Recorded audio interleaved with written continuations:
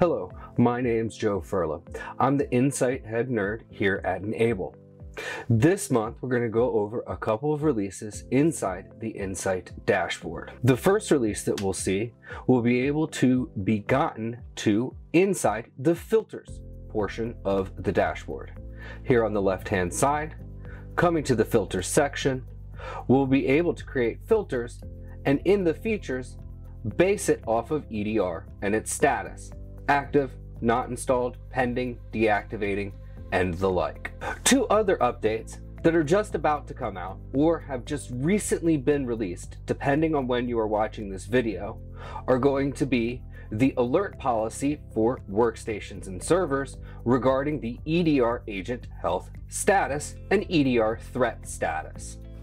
The other updates we'll talk about today are going to be in the alert policy section, which can be found going to settings, alerts, and then alert policy is seen here. You'll note that we now have added the EDR agent health status and EDR threat status settings to the alert policy, where we're able to look at both SMS and email outage and recovery alerts.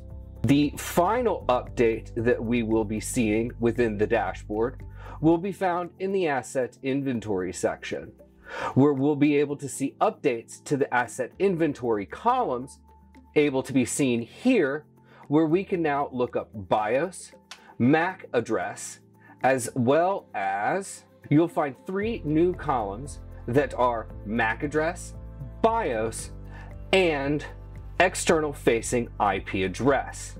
To add those columns, simply click here and select from the column chooser.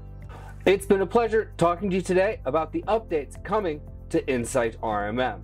We'll look forward to seeing you next month where Brian Mackey will be joining me for a review of the quarter. Hope to see you then. Bye.